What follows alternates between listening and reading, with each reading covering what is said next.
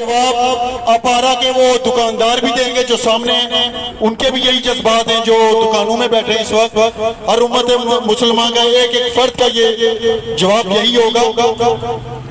حرمت قرآن پر۔ نہیں نہیں، مجھے پار سے، اس پار سے بھی آواز آنی چاہیے، اس پار سے بھی۔ تاکہ یہ آواز آج پاکستان سے ان قوتوں کو señora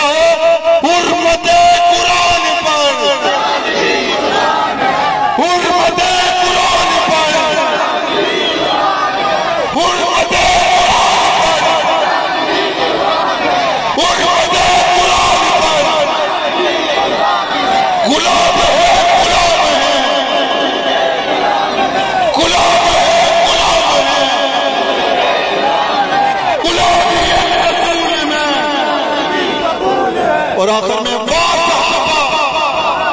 ایسے نہیں صحابہ کا نعرہ ہے اور آواز آنی چاہیے۔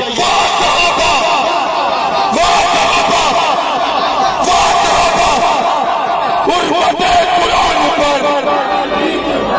میں ایک مرتبہ پھر مسلم طلبہ محاذ کی جانب سے میں کی جانب سے، پاکستان کی امت مسلمہ کی جانب سے، میں یہ سمجھتا ہوں کہ آج آپ نے تاریخ رقم کر دی، اس عظیم الشان قرآن چین جو کہ پاکستان میں پہلی مرتبہ ہوئی۔ سردار مدر صاحب، دعوت خطاب۔